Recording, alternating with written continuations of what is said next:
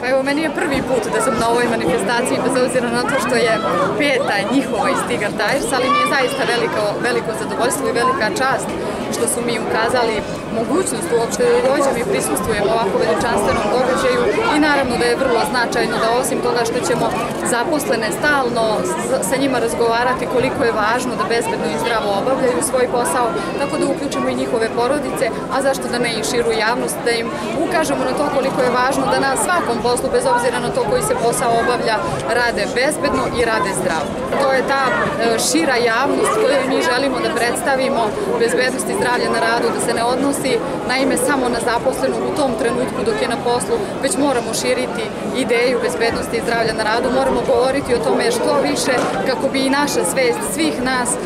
bila na mnogo višem nivou da svi vodimo računa i o samima sebi, a na kraju krajeva i o svojim kolegama i porodici. Ja moram samo istaći da je Tigar Tires ove godine dobio i nagradu bezbednosti zdravlja na radu od Ministarstva za rad, zato mi je naravno još draže što sam danas ovde i nadam se da će oni ulagati još više i polagati još više pažnje na bezbednost i zdravlje svojih zaposlenih, njihovih porodica iz građana Pirota. Meni su danas rekli da je, da je plan da već